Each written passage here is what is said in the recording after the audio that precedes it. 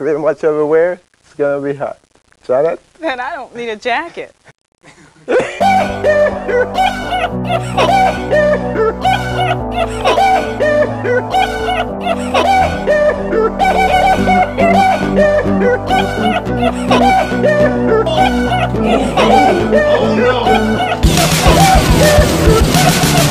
Thanks, Arthur.